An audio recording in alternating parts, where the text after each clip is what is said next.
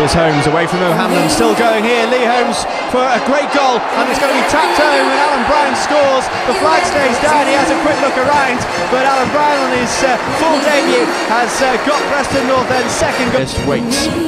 Left footed, he plays the corner in towards the box. It's uh, headed away.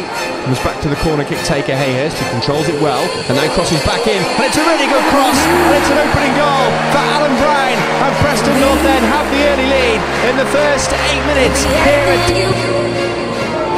goes up towards Joe Garner. He wins that one in the air and it almost fell kindly for Alan Browne. Chris Humphrey might reach it, and this could be Browne!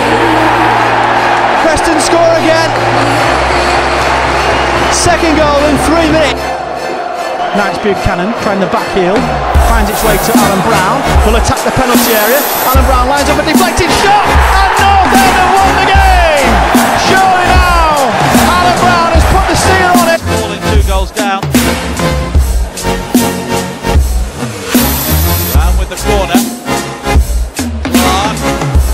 On the turn is in.